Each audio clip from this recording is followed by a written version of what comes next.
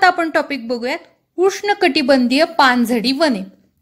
म्हणजेच काय? Tropical deciduous forest पानझडी वने म्हणजे नक्की काय? तर ही वर्षातून एकदा एकाच वेळी सर्व वृक्ष आपली पानं झाडतात गळतात. ओके म्हणजे काय असतं? ह्यांचा एकच वेळ असतो. आपण सधारित वनांमध्ये काय बघितलं की प्रत्येक वृक्षांचा एक गट असेल आता समूह असेल तर त्यांचे जे पान झाडायचं पान गाळायचा जो टायमिंग आहे तो वेगवेगळा आहे प्रत्येकाचा. पण इथं पानझडी वनांमध्ये कसं आहे तर ही एक वर्षातून एकदाच एकाच वेळी ही वृक्ष आपली पाने गाळतात झडतात ओके? ही जरा कमी घनदाट असतात. यांना परत पालवी कधी फुटते? जेव्हा मान्सून येणार आहे तेव्हाच. म्हणूनच यांना मान्सून वने म्हणून पण ओळखतात. ही वने कुठे आढळतात? तर मध्य प्रदेश उत्तर प्रदेश झारखंड छत्तीसगड ओडिसा आणि महाराष्ट्रातील काही भागांमध्ये म्हणजेच हा बघा मॅपमध्ये जो मी आडव्या लाल रेषांचा जो तुम्हाला भाग दाखवलाय जो की उत्तर प्रदेशपासून तमिळनाडूचा तमिळनाडूपर्यंत तर मध्य प्रदेशपासून झारखंडपर्यंत हे जो हा पोर्शन आहे पूर्ण आडव्या लाईनिंगचा हा झाला आपला उष्ण कटिबंधीय पानझडी वनांचा एरिया म्हणजेच भारताच्या आतला भाग ओके मध्य भागात ही सर्व वन आढळतात. कारण हा भाग मान्सून क्षेत्रामध्ये येतो. म्हणजेच काय? वर्षभर इथं पाऊस नसतो. फक्त तीन चार महिने पाऊस असतो. हेच कारण आहे की बाकीच्या महिन्यात ही वृक्ष आपली पाने गाळतात. का गाळतात? कारण शरीरातील बाष्पीभवन हे कमी व्हावे आणि जिवंत राहण्यासाठी मदत व्हावी म्हणून ही आपली पानं गाळतात. आता कुठले वृक्ष या पानझडी वृक्षांमध्ये आढळतात? तर साल साग वृक्ष पिंपळ कडुनिंब शिसवी असे वृक्ष हे पानझडी वृक्षांमध्ये आढळतात. आता बघूयात आयोग ह्या पानझडी वृक्षांवरती कशा प्रकारचा क्वेश्चन विचारू शकतो? त्याचं एक एक्झाम्पल बघूयात. बघा प्रश्न काय? खालीलपैकी योग्य विधान किंवा विधाने ओळखा. दोन विधानं दिलेली आहेत. पहिलं विधान बघा काय? उष्णकटिबंधीय पानझडी वनातील वृक्षांची पाने कधीच झडत नाहीत. असतं कसं? नाही उष्णकटिबंधीय पानझडी वनातील वृक्षांची पाने ही वर्षातनं एकदा तरी झडतात. म्हणूनच तर ते आम्ही आपण त्याला पानझडी वने असं म्हणून ओळखतोय. ओके? आणि दुसरं बघा काय म्हणलंय? भारतात पानझडी वनांचे क्षेत्र जास्त आहे. बरोबर आहे. कारण आपण आत्ताच बघितलं की आपण मान्सून क्षेत्रामध्ये राहतो. भारत आपल्या कशामध्ये येतो? तो मान्सून क्षेत्रामध्ये येतो. त्यामुळे इथं पानझडी वने आढळतात. का? तर तीन चार महिनेच पाऊस असतो. म्हणून म्हणजेच काय झालं? पहिलं विधान हे अयोग्य अयोग्य आहे आणि दुसरं विधान हे योग्य आहे. आता आपल्याला इथं योग्यच विधान विचारलेलं आहे. मग कुठलं झालं? फक्त दुसरं विधान हे आपलं योग्य झालं. म्हणजेच पर्याय काय झाला? फक्त दोन योग्य. म्हणजेच काय? उत्तराचा पर्याय झाला पर्याय क्रमांक ब. आता अजून एक आपण प्रश्नाचं एक्झाम्पल बघूया. बघा प्रश्न काय खालीलपैकी कुठले झाड हे उष्णकटिबंधीय पानझडी वनामध्ये आढळते? आत्ताच आपण ही उदाहरणं बघितली. कुठली कुठली झाडं आढळतात? पर्याय काय दिलेत बघा? पहिला पर्याय म्हणतोय साग दुसरा म्हणतोय साल आणि तिसरा म्हणतोय कडुनिंब. तर आताच आपण बघितलं की हे तिन्ही वृक्ष हे तिन्ही सुद्धा झाडं या उष्णकटिबंधीय पानझडी वनांमध्ये आढळतात. म्हणजेच आपलं उत्तर काय पाहिजे?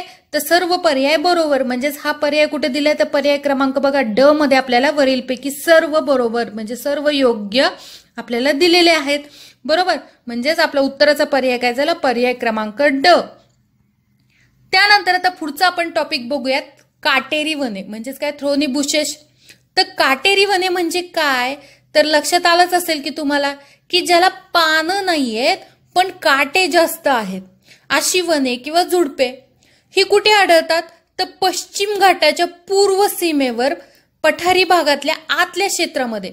म्हणजे जिथे सत्तर सेंटीमीटरपेक्षा कमी पाऊस पडतो अशा ठिकाणी. कारण का? तर तिथे पर्जन्य छायेचा प्रदेश आढळतो. आता हा कुठला प्रदेश? तर महाराष्ट्रातला आपल्या विदर्भाचं क्षेत्र आलं. त्यानंतर तेलंगणा कर्नाटक आंध्र प्रदेशचं क्षेत्र आलं. तसंच राजस्थान पंजाब हरियाणा गुजरात इथे सुद्धा ही झुडपं आढळतात. मॅप थ्रू आपण आता समजावून घेऊ. बघा हे बघा. ग्रीन कलरचा हा जो पश्चिम घाट आहे त्याच्या पूर्वेला लाल ठिपक्यांचा जो तुम्हाला प्रदेश दिसतोय तिथे आणि तसेच वरती बघा राजस्थान गुजरात आणि पंजाबचा जो एरिया आहे तिथे सुद्धा तुम्हाला दिसतंय. लाल टिपक्यांचा जो प्रदेश दिसतोय. तो झाला हा काटेरी झुडपांचा प्रदेश. राजस्थानच्या थारच्या वाळवंटात ही जास्त प्रमाणामध्ये आढळतात. यांची विशेषता काय असते? तर यांना पाने नसून काटे जास्त असतात. त्यामुळे पाण्याचे उत्सर्जन जे आहे ते जास्त होत नाही आणि प्रखर उष्णतेत सुद्धा ही कमी पाण्यामध्ये कमी पाण्याच्या ठिकाणी सुद्धा ही तग धरू शकतात. एक सांगू मित्रांनो निसर्गाकडून शिकण्यासारखं खूप काही असतं. आता हेच पहा ना ही वृक्ष झाडी झुडपं आहे त्या परिस्थितीत तग धरण्यासाठी किती पण झुंज देऊ शकतात. हार मानत नाहीत. पण आपण जरासं आपलं काही बिघडलं काय आपल्या काय आपलं मनासारखं नाही झालं तर आपण लगेच इतराला दोष देतो मोकळे होतो रडत बसतो. पण आहे त्या परिस्थितीशी दोन हात करायचा प्रयत्न करतो का? नाही करत. माझं सांगायचं तात्पर्य एवढंच की तुम्ही ह्या वृक्षांकडून शिकण्यासारखं बरंच काही आहे तर ते आपण शिकलं पाहिजे. ओके? त्यानंतर आता बघा ही काटेरी झुडपं कुठली आहेत? तर निवडुंग म्हणजेच कॅक्टस आपण ज्याला म्हणतो ते आहे खैर आहे आपल्या आजूबाजूला दिसणारं बाभूळ आहे किंवा पळस आहे. तर हे सर्व तुम्ही जे प्रकार आहेत हे लक्षात ठेवा. कदाचित हे सुद्धा आपल्याला एमसीक्यू साठी विचारू शकतात. आता बघा ह्या काटेरी वनांवरती आयोग कसा प्रश्न विचारू शकतो? प्रश्न बघा काय दिलाय? खालील विधानांपैकी योग्य विधान विधाने ओळखा. पर्याय बघा आपल्याला काय विधानं दोन दिलेले आहेत? काटेरी झुडपे ही कमी पावसाच्या ठिकाणी आढळतात. बरोबर आहे.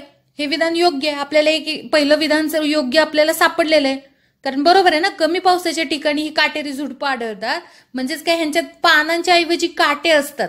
त्यामुळंच हे कमी पावसाच्या ठिकाणी तग धरू शकतात. आणि दुसरं विधान काय म्हणलंय बघा की काटेरी वने ही पश्चिम घाटात जास्त आहेत. आहेत की ही पश्चिम घाटात जास्त? नाही. तर आपल्याला पर्याय काय झाला तर आपला?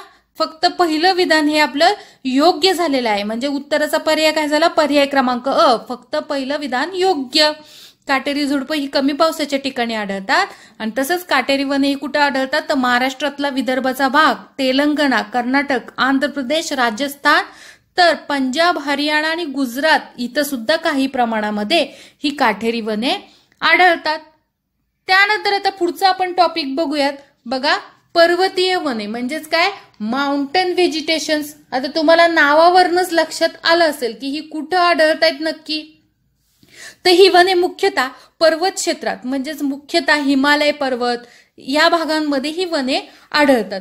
म्हणजेच बघा हे बघा तुम्ही मॅपमध्ये जर बघितलं तर हिमालय पर्वतांच्या जो भारताचा सर्वात वरचा आपला जो भाग आहे म्हणजे तुम्हाला जो मी निळ्या लाईननी दाखवलेला हायलाईट केलेला जो भाग आहे तो तसंच पूर्वेकडचा अरुणाचल प्रदेशाचा भाग.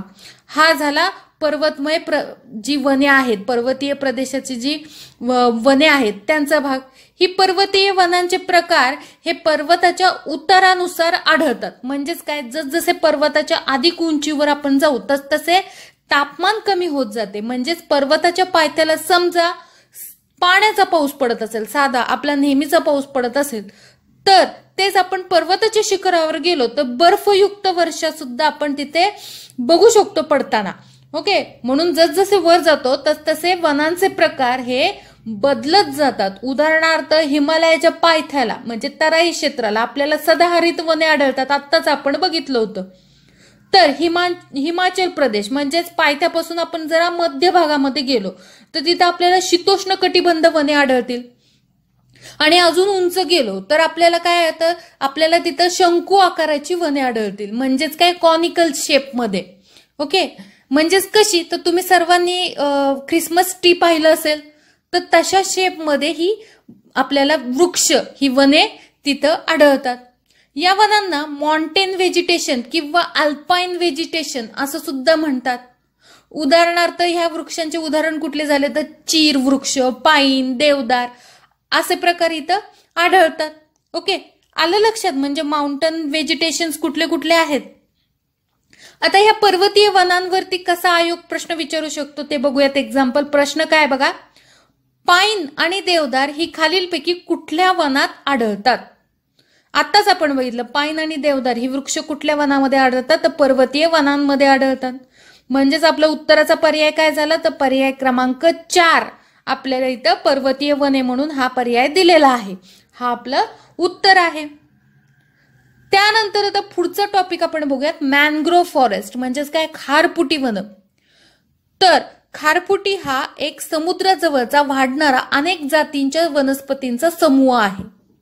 खारपुटी ही चिखलात घट्ट माती नसलेल्या जागी म्हणजेच काय? दलदलीच्या जागी आणि भरतीचं जे समुद्राचं भरतीचं पाणी आहे ते जे ज्या भागामध्ये घुसतं त्या भागांमध्ये ही वने आढळतात. यांची मुळे समुद्राच्या पाण्यातल्या मिठांचे प्रमाण सहन करू शकतात आणि लाटांबरोबर होणारी जमिनीची धूप पण थांबवतात. खाऱ्या जमिनीत पाण्यात म्हणजे खाऱ्या जमिनीत किंवा खाऱ्या पाण्यामध्ये सलाईन वॉटरमध्ये हे पाण ही जी वृक्ष आहेत यांची वाढ तिथे होते हे तिथेच जगू शकतात. म्हणजेच ही झाली खारफुटी वने भारतात जगातील सर्वात जास्त खारपुटीचं जंगल हे भारताच्या पूर्व किनारपट्टीवर असणारं सुंदरबन सुंदरबन म्हणून जे जंगल आहे ते आहे. तसेच गुजरात किनारपट्टी ही सुद्धा सर्वात जास्त खारपुटीसाठी ओळखले जाते. भारतामध्ये खारपुटीचे दुसऱ्या क्रमांकाचं जंगल कुठलं आहे तर ते गुजरात इथं आपल्याला आढळतं. तसेच काही प्रमाणामध्ये अंदमान निकोबार बेटावर देखील ही वनं आढळतात. यांचं एक महत्वाचं झाड कुठलं असतं या खारफुटींमधलं? तर सुंदरी झाड. ओके? जे की आपण बोट वगैरे बनवायसाठी ते वापरतात. ते त्यासाठी उपयुक्त असतं. आणि याच्याच या सुंदरी नावाच्या झाडावरनं सुंदरबन हे त्या जंगलाचं नाव पडलेलं आहे. आता आपण बघूयात की आयोग या खारपुटी वनांवरती कशा टाईपचा प्रश्न विचारू शकतो? बघा प्रश्न काय दिलाय? खालील विधाने लक्षात घ्या आणि दोन विधान आपल्याला इथं दिलेली आहेत. बघा पहिलं विधान काय? सुंदरी झाडे ही खाऱ्या पाण्यामध्ये वाढतात. आत्ताच आपण बघितलं की सुंदरी झाड हे खारपुटी वनांमधलं एक प्रकारचं झाड आहे. म्हणजेच काय? तर ते खाऱ्या पाण्यामध्ये वाढतात. दुसरं काय म्हणलंय? की ते पश्चिम बंगालमध्ये आढळतात. आता इथे तुम्हाला थोडीशी एक्स्ट्रा माहिती पण आहे की ही सुंदरी झाडे जी आहेत ही आपली सुंदरबन म्हणजेच काय तर पश्चिम बंगालमध्येच ही झाडे आपल्याला आढळतात. म्हणजेच काय हे दोन्ही जी आपल्याला विधानं दिलेली आहेत ही आपली बरोबर आहेत. आपल्याला योग्य विधानच यामधलं ओळखायचं तर आपली ही दोन्ही विधानं बरोबर आहेत. म्हणजे उत्तराचा पर्याय काय झाला? पर्याय क्रमांक क. दोन्ही एक व दोन विधानं ही योग्य आहेत. त्यानंतर आता पाहूयात आपल्याला ही वने ही जी झाडं आहेत ही का गरजेची आहेत? तर झाडे आपल्याला ऑक्सिजन देतात. म्हणजे शुद्ध हवा तर देतातच ना आपल्याला. त्यानंतर कार्बन डायऑक्साईड स्वतः ग्रहण करतात. त्यामुळे काय होतं? आपल्याला शुद्ध फ्रेश हवा मिळते. आणि म्हणूनच आपण चांगलं स्वच्छ श्वसन करू शकतो. यांची मुळे काय करतात? तर मातीला घट्ट पकडून ठेवतात. त्यामुळे काय होतं? तर जमिनीची धूप होत नाही. ओके? तसेच वने आपल्याला अन्न देतात लाकूड देतात स्वच्छ पर्यावरण देतात. वने प्राणी जमातींचं घर असतात जिथे जास्तीत जास्त वने असतील तिथे पावसाचं प्रमाण हे उत्तम असतं. पण आता काय होतंय की माणूस स्वतःच्या स्वार्थासाठी या वनांची कत्तल करतोय. त्यामुळे आपल्या महाराष्ट्रात देखील दुष्काळ परिस्थिती आता जाणवतीये. आता सुद्धा बघा ना पावसाळा आहे पण म्हणावं तसा पाऊस पडलाय का? नाही. याला निसर्ग जबाबदार आहे का? नाही. याला तुम्ही आम्ही आपण सर्वच जबाबदार आहोत. दरवेळेस ही वने वाचवण्यासाठी काही आंदोलने काही प्रोजेक्ट्स काही मुवमेंट्स हाती घेण्यात आल्या. उदाहरणार्थ चिपको मुवमेंट्स किंवा वन महोत्सव सारखे आपण प्रोग्राम आपण आखले. पण तरी देखील परिस्थिती जैसे थे. मित्रांनो आपले लेक्चर चालू होत असताना किंवा प्रत्येक स्लाइडवरती आपली ही विजन स्टडीची ऑर्गनायझेशन एक संदेश आपल्याला देते. तुमच्या लक्षात आलाय का कधी? नाही कारण आपण आजकाल इतके स्वार्थी झालोय की आपल्याला फक्त लेक्चरशी मतलब असते. काय असतो हा संदेश? बघा वाचा एकदा. तुम्हाला स्लाइडला कोपऱ्यात सुद्धा दिसेल. हा संदेश आहे अडॉप्ट अ ट्री म्हणजेच काय? एक तरी वृक्षाचा सांभाळ करा. तुम्हाला वृक्ष लावता नाही आले तरी चालतील. पण आहेत ती वृक्ष. एक तरी वृक्ष. हे तुम्ही सांभाळा. त्याची काळजी घ्या. पण कुणी कुणी हा मेसेज सिरियसली वाचला आहे. किंवा सिरियसली तुम्ही एक तरी वृक्षाची काळजी घेतलेली आहे. आपल्या सर्वांना अधिकारी व्हायचे मान्य आहे. पण अधिकारी व्हायच्या आधी तुम्ही एखाद्या वृक्षाचा सांभाळ करून माणूस बनवून दाखवा. ठीक आहे? तर आता आपण बोलूयात आपल्या पुढच्या टॉपिककडं बघा पुढचा टॉपिक आहे भारतातील वन्यजीवन. पहिल्यांदा वन्यजीवन म्हणजे काय ते बघूयात. वन्यजीवन म्हणजे आपल्याला जंगलात आढळणारे जेवढे काही जीव जंतू आहेत ते म्हणजे वन्यजीवन. आता कुठले कुठले? तर आपल्याला सरपटणारे प्राणी आढळतात म्हणजे कुठले सरीसृप वर्गातले. म्हणजे काय? साप नाग मगर वगैरे असे प्राणी. दुसरे काय? तर उभयचर प्राणी. आता उभयचर प्राणी म्हणजे नक्की कुठले? जे जमिनीवर पण राहू शकतात आणि पाण्यात सुद्धा राहू शकतात. मग असे कुठले? तर बेडूक कासव असे. त्यानंतर आहे सस्तन प्राणी. मग सस्तन प्राणी म्हणजे नक्की कुठले? की जे डायरेक्ट जीव जन्माला घालतात अंडी देत नाहीत. मग असे कुठले? तर वाघ सिंह हत्ती हरिण असे सर्व प्रकारचे हे जे प्राणी आहेत हे सर्व. त्यानंतर आपल्याला पक्षी देखील तिथं आढळतात. त्यानंतर कीटक किडे हे सुद्धा आपल्याला तिथं आढळतात. अजून पण असतात पण हे फक्त तुम्हाला आता मी थोडंसं उदाहरण दाखल हे तुम्हाला दाखवलेले आहेत. आता वन्यजीवांबद्दल आपण महत्त्वाचे पाहूयात जे आपल्या एक्झामच्या दृष्टीने खूप महत्वाचं आहे. काय बघा आपला राष्ट्रीय प्राणी कुठला आहे? तर वाघ आहे. आपला राष्ट्रीय पक्षी कोण आहे? तर मोर आहे. गुजरातच्या आपल्या गीरच्या जंगलामध्ये आशियाई सिंह पाहायला मिळतात.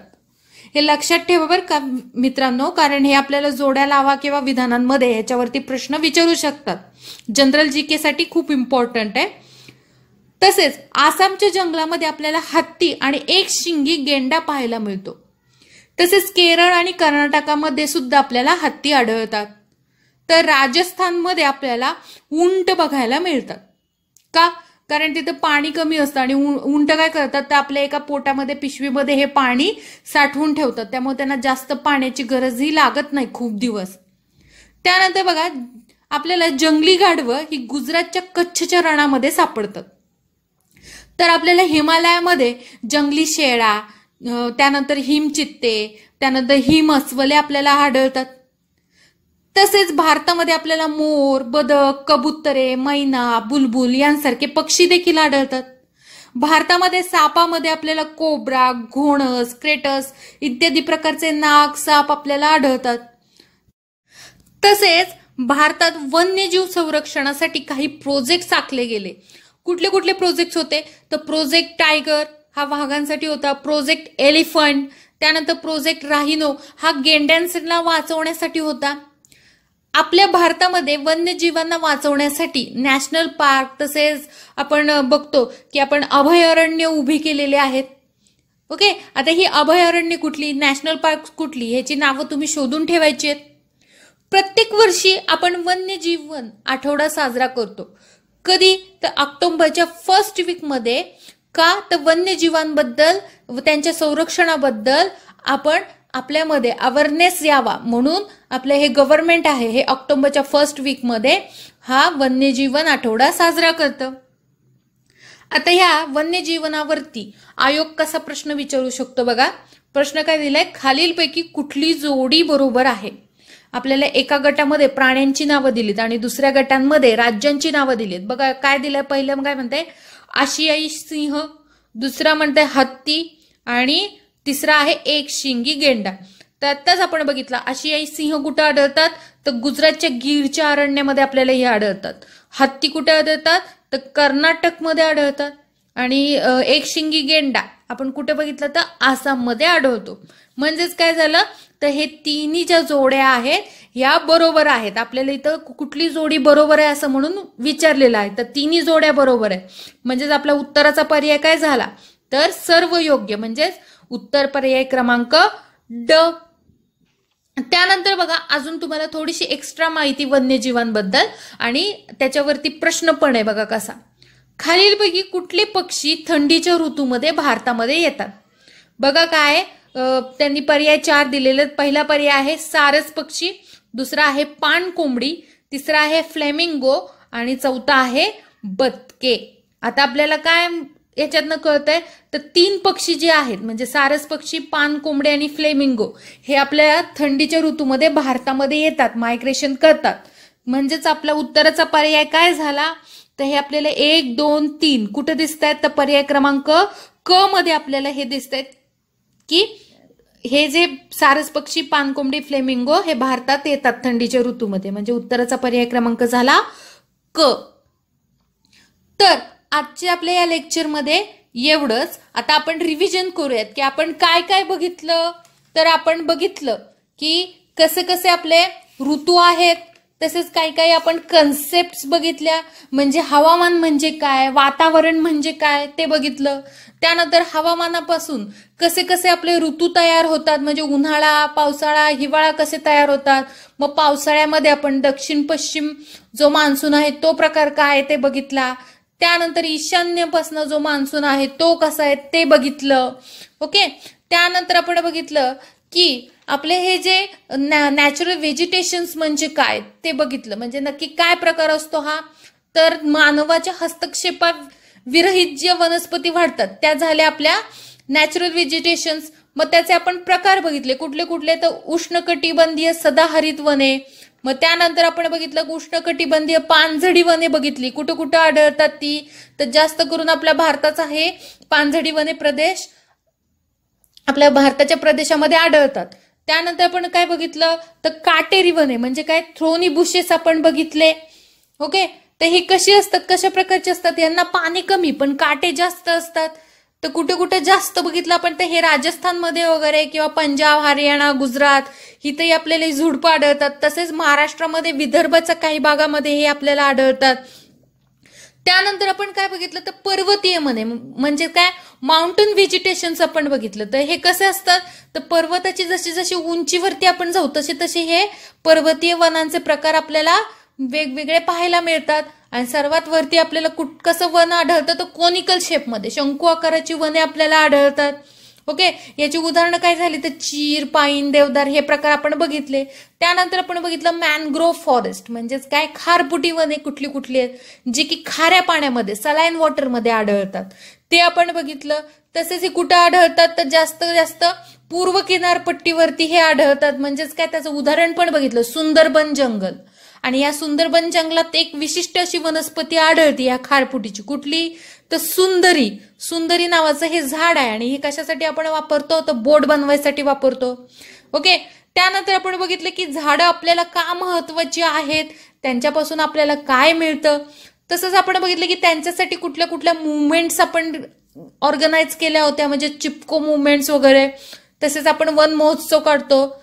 त्यानंतर आपण बघितलं की वन्यजीवन म्हणजे काय ते बघितलं.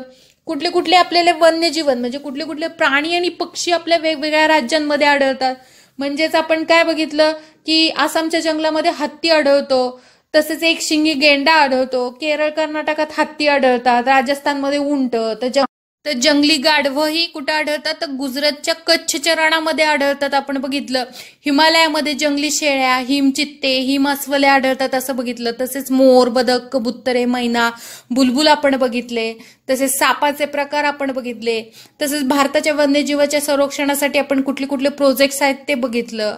त्यानंतर वन्यजीवांना वाचवण्यासाठी आपण काय काय ऑर्गनाईज कुठले कुठले कार्यक्रम ऑर्गनाईज करतो ते बघितलं. तसेच नॅशनल पार्क वगैरे उभे केलेले ते आपण यामध्ये बघितलेलं. तर अशा रीतीने आपलं हे सहावीचं जे एन सी आर टीचं पुस्तक आहे हे इथं संपलेलं आहे. तसेच आपला हा आठवा चॅप्टर सुद्धा संपलेला आहे. आता नेक्स्ट लेक्चरपासून आपण बघणार आहोत सातवीचं एनसीआरटीचं पुस्तक. कुठलं आहे तर आवर एन्व्हायरमेंट म्हणजेच काय? आपले पर्यावरण. तर भेटूयात आता पुढच्या नेक्स्ट लेक पुढच्या लेक्चरमध्ये थँक्यू